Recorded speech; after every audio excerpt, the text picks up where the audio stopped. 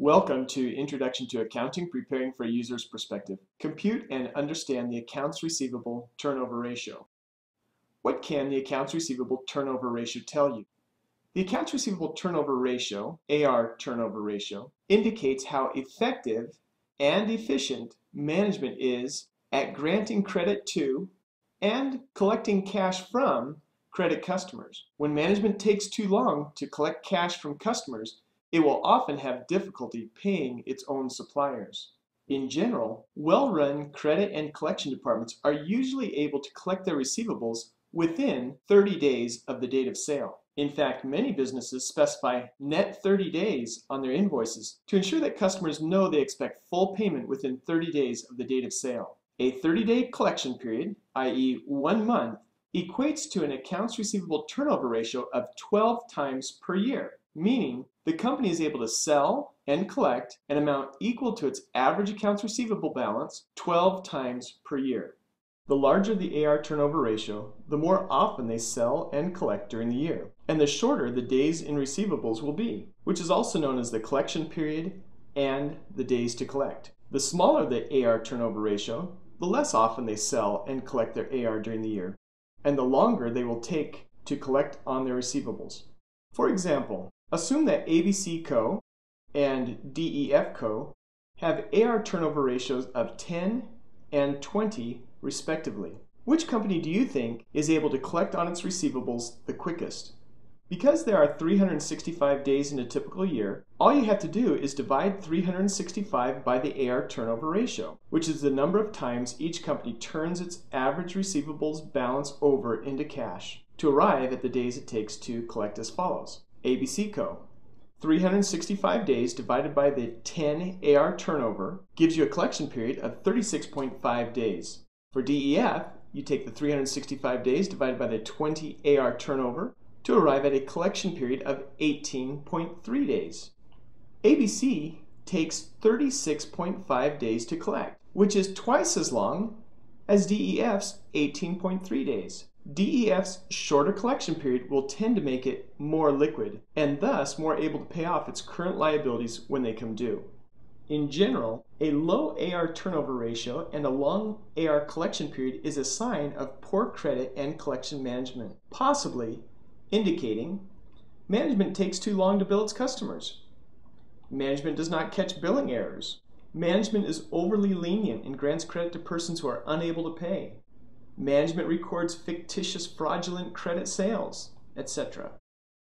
In general, a high turnover ratio and a short collection period is a sign of good credit and collection management. However, a collection period that is too short can actually be a sign of poor credit and collection management that can significantly reduce sales, such as management only allows cash sales, management only grants credit to AAA rated customers, thus preventing credit sales to customers who really would pay if given time to pay. Management is overly aggressive in its collection efforts, using harassing phone calls, rude letters, and big ugly mean men. Customers may pay up quickly when threatened, but will likely never buy from the company again and will discourage their friends from buying there as well. It should be clear that credit and collection management is a balancing act between ensuring full and timely payment and avoiding being too strict, and increasing credit sales and the company's customer base, but avoiding being not strict enough. How do you compute the accounts receivable turnover ratio? The accounts receivable turnover ratio is computed as follows. Net credit sales divided by average accounts receivable, where the average accounts receivable is equal to the beginning accounts receivable plus the ending accounts receivable divided by 2.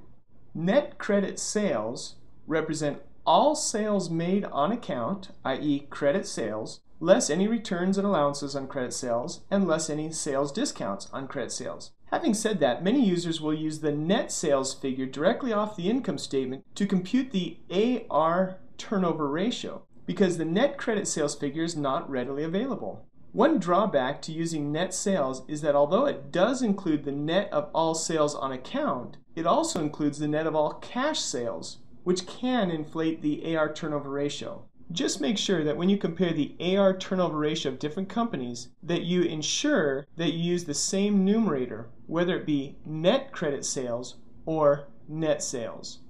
Average accounts receivable represents the average of the beginning accounts receivable and the ending accounts receivable. It is computed by adding beginning accounts receivable to ending accounts receivable and dividing the sum by 2 to arrive at the average for the period. The average is used to eliminate some of the fluctuation in the account from the beginning of the period to the end of the period. Company A's prior year ending balance sheet showed accounts receivable of $100, which will become the beginning balance for the current year. The current year balance sheet showed ending accounts receivable of $60. By adding the two balances, we get $160, which we then divide by 2 to get the average accounts receivable for the year of 80. During the year, it generated $1,200 of net credit sales, resulting in an AR turnover ratio for the year of 15, as is shown here. This means that Company A was able to make credit sales of $80 and then turn them over into cash 15 times during the year. That is a pretty good AR turnover ratio, but it becomes more interesting when we compute the number of days Company A takes to collect $80 of credit sales.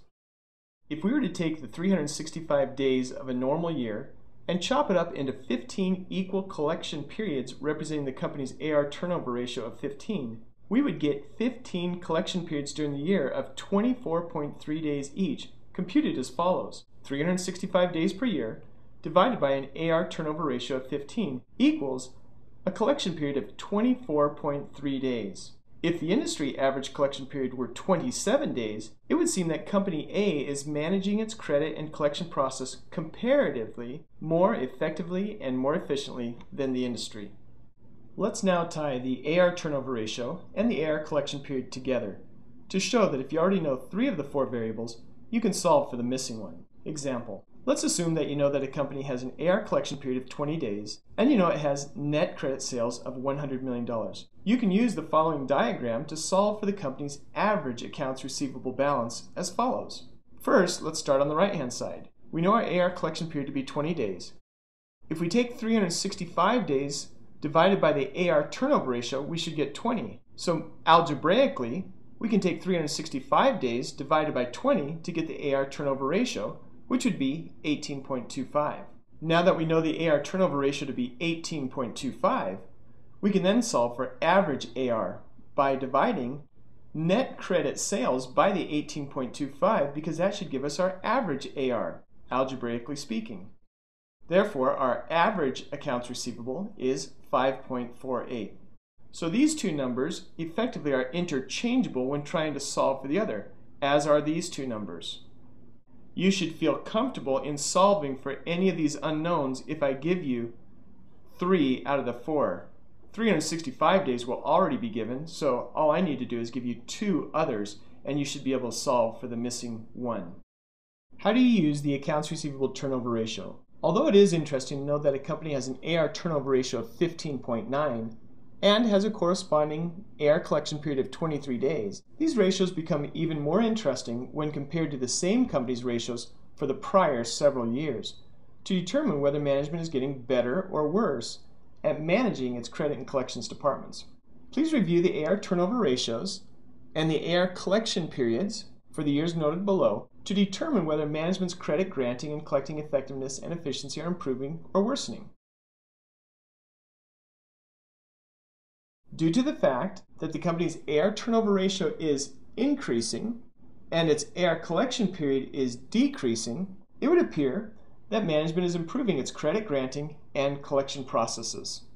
In addition, as noted previously, wise users will also compare a company's AR turnover ratio and collection period to the industry average as a means of benchmarking its performance. If a given company has an AR turnover ratio of 8.1 and is therefore taking 45.1 days to collect, and the industry has an average AR turnover ratio of 15, thus taking about 24.3 days to collect, management might want to review its credit granting and collecting processes and procedures to see what can be done to improve their efficiency and effectiveness. In summary, you should be able to define and compute the AR turnover ratio and AR collection period. You should also be able to use a company's AR turnover ratio and AR collection period to assess management's credit granting and collecting as compared to its past and to its industry. Good luck on the quiz.